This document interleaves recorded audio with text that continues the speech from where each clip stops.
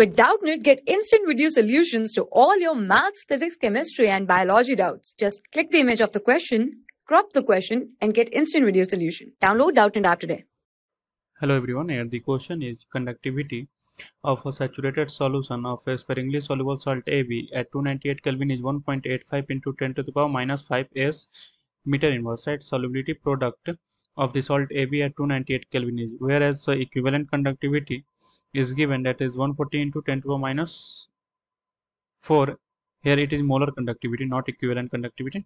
So sm inverse sm square mole inverse right? So molar conductivity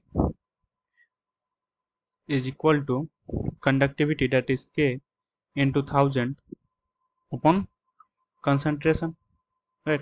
So here conductivity is given that is 1.85 into 10 to the minus 5 so we put here 1.85 into 10 to the power minus 5 into into 1000 upon C right?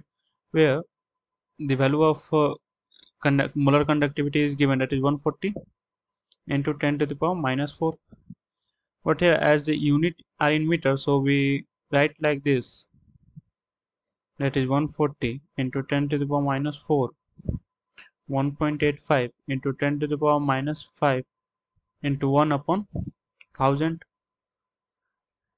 see unit are in meter because unit are in meter right?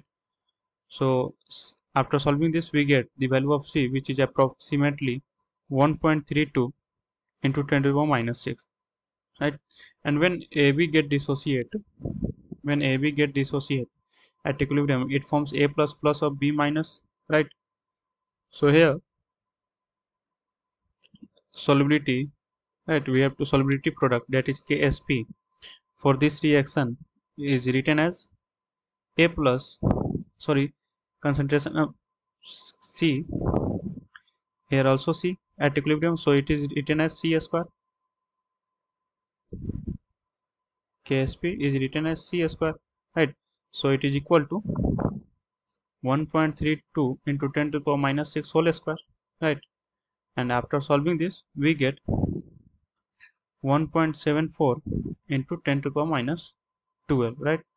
So this is the value of solubility product and our correct option is option second. Thank you. For class 6 to 12, IIT JEE and NEET level. Trusted by more than 5 crore students. Download Doubtnut app today.